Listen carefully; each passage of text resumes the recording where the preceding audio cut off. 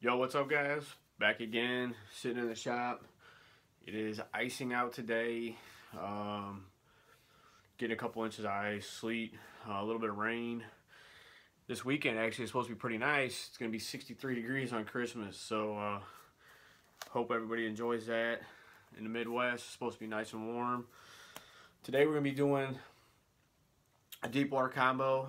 Um, this is a combo I use quite a bit down in Kentucky Lake, Lake of the Ozarks, um, even up north some. It is going to be my football jig rod. It is a, check it out. It's a Dobyns DX 784C.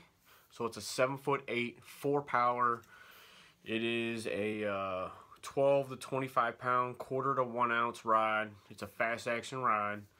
I've got it paired with a reel that you, you might have seen before. It doesn't really get talked a lot. I mean, I don't know if it really hit the mark, you know, hit the market, and, and it just kind of was just weird for a lot of people. It is a Daiwa T3. This is a 7.1 to 1 gear ratio. Um, it's a slick reel. You press it down, hood pops up, and you can actually just engage the reel with just pressing down the hood. Um, it also has the T-wing system in it. You know, this is the first reel to have the uh, the T-wing. This one's actually one of the first ones from Japan. Um, it, it, it, casts a mile. It's got the 1016 spool in it. It's got the side uh, mag here. Then underneath, it's got the 3D mag here, which which you can change to uh, long cast, overall, and then max brake by just clicking it. I usually just keep it in the middle.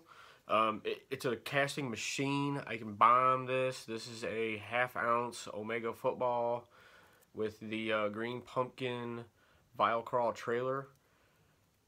You can see it's been pretty beat up.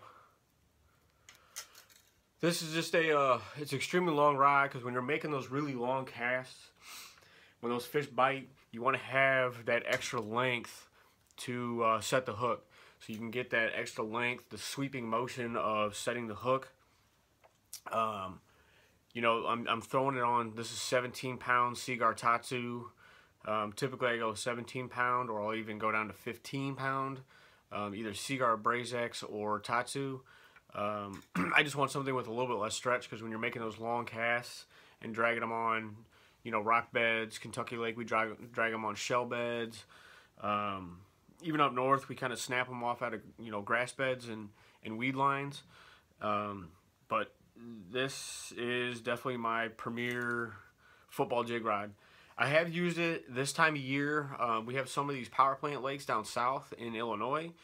Uh, a lot of guys will throw a spoon on this rod. It is, you know, I've thrown a spoon a couple times on it. I just haven't ventured out chucking big spoons or flutter spoons and stuff like that. But I have done it a couple times and it does it really well.